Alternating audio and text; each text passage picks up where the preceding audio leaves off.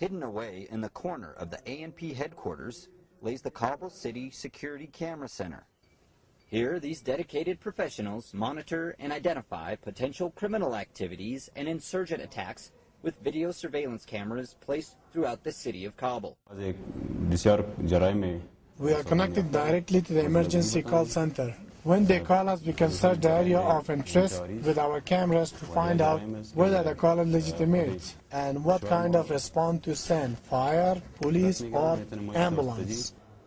They can also see how the ANP are handling themselves on the job, how they search vehicles and deal with the people. From this room, they can see every corner of the city and are adding more cameras to their arsenal to better serve the people of Kabul and keep them safe. Even the most sophisticated camera system relies on good information to be successful, and the citizens of Kabul are key players in the fight against crime and insurgents. I want the people of Kabul to know that we need their help. We need them to cooperate with their police force.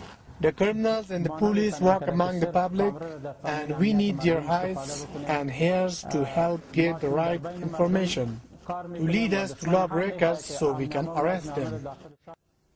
When a suspect is located, they are followed from camera to camera from every angle of view until they are identified as a threat or not.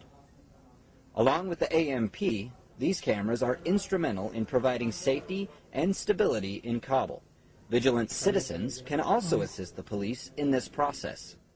If the people of Kabul help the police, I'm certain the attacks and the crime will be decreased around the city. From Kabul, Afghanistan, I'm Air Force Sergeant Mark Bell.